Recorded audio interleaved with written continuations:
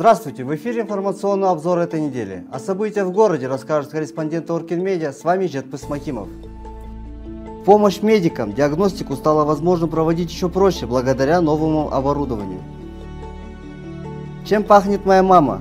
В преддверии Международного женского дня корреспонденты Оркин Медиа провели опрос среди воспитанников детского сада. Балхарские врачи приняли сложные роды у жительницы поселка Саяк. На 31 неделе беременности у роженицы начались преждевременные схватки.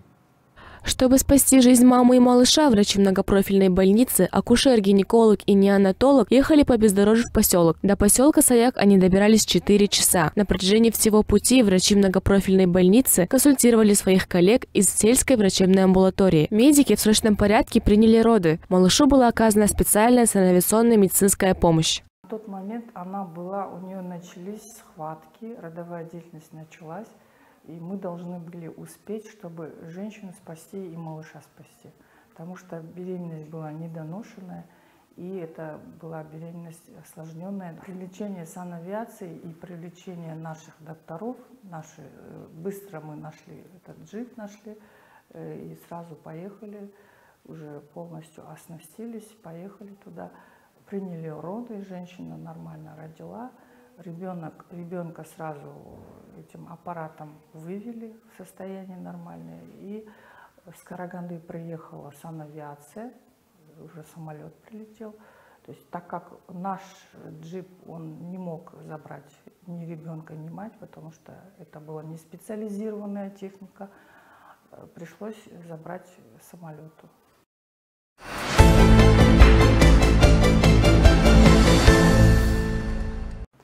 Родильное отделение многопрофильной больницы пополнилось новым оборудованием. Фетальным монитором, который позволяет осматривать плод во время беременности, а также монитором пациента.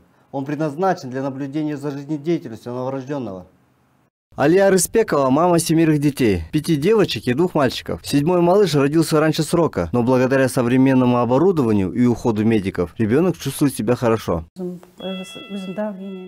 У меня давление, и так получилось, что оно у меня резко поднялось. По этой причине произошли преждевременные роды. И при помощи этого оборудования врачи наблюдают за состоянием моего ребенка. В год в Балхаше рождается порядка 2000 детей. Патологическими преждевременными родами почти 25%. Чтобы до и после родовое наблюдение было оперативным и точным, необходимо современное оборудование. Ими пополнилось родильное отделение многопрофильной больницы города. Фетальный монитор позволяет следить за состоянием внутриутробного плода, начиная с 32 недели беременности. Стоит отметить, что подобный монитор в роддоме уже был. Это вот фетальный монитор, это, который о, считывает состояние внутриутробного плода.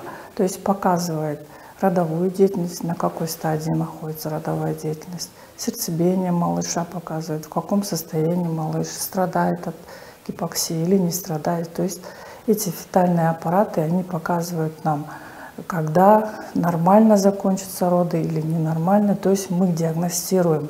Фетальные аппараты нам очень помогают в работе. На данный момент сейчас у нас фетальных аппаратов 8. Э, Были у нас до этих четырех аппаратов было 4 своих.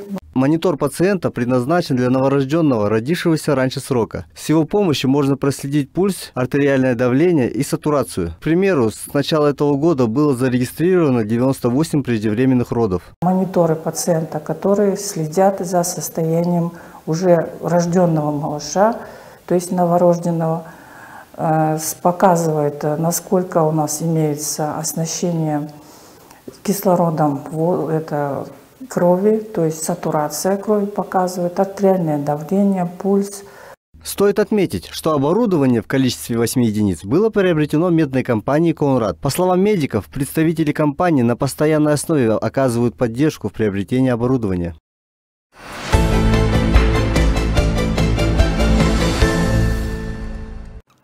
Прогнившие магистральные сети стали настоящим бедствием для жителей города. Вот уже несколько дней в некоторых районах жители сидят без холодной воды. Подробности в следующем репортаже.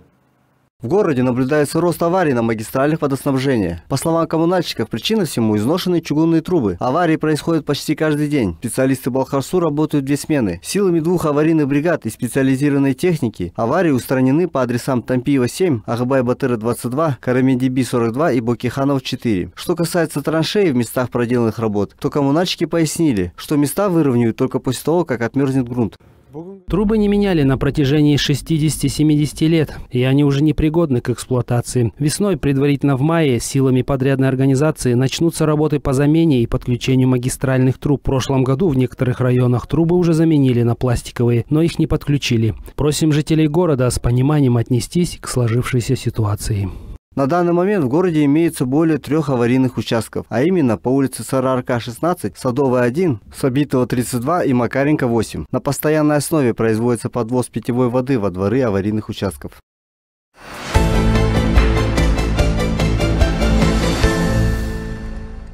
Священный месяц Рамадан начнется 11 марта, а ночь предопределения выпадает в ночь с 5 на 6 апреля.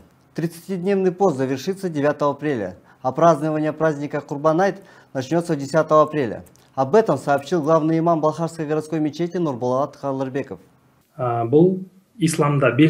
В исламе есть пять столпов, и соблюдение поста в священный месяц Рамадан является одним из них. Пост учит людей воспитанию, кроме того, он учит вас терпению и доброте.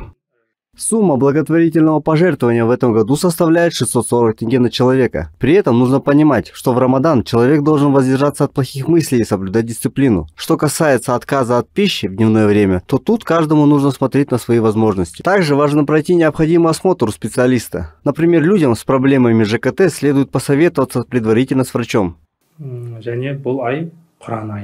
В этом году сумму благотворительного пожертвования сравнили со стоимостью двух килограммов муки, а также если проводить много времени над чтением священной книги Коран, награда за это будет больше. Очень важно помогать людям и совершать добрые поступки. Первый день поста в ночь на 11 марта в 4.57 утра начнется соблюдение поста. В связи с изменением часового пояса Духовным управлением мусульман Казахстана было утверждено расписание поста. Пост будет соблюдаться по утвержденной таблице. Поздравляю всех со священным месяцем Рамадан. Желаю здоровья каждой семье.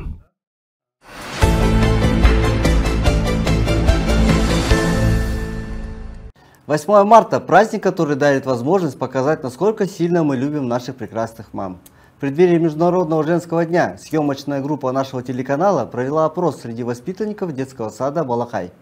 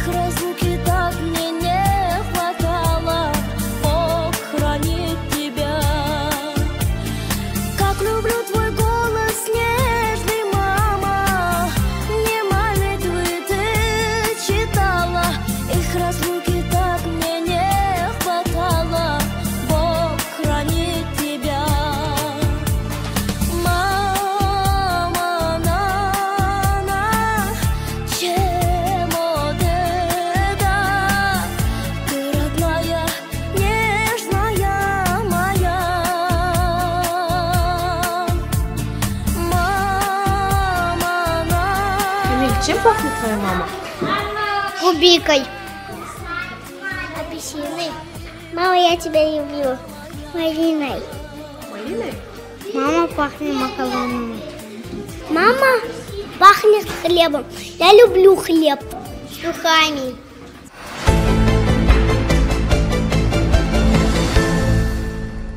В преддверии Международного женского дня редакция канала Оркин Медиа поздравляет всех представительниц прекрасного пола. Желаем оставаться прекрасными и счастливыми. Смотрите новости на канале Оркин Медиа по будням в 20.15. До встречи в эфире.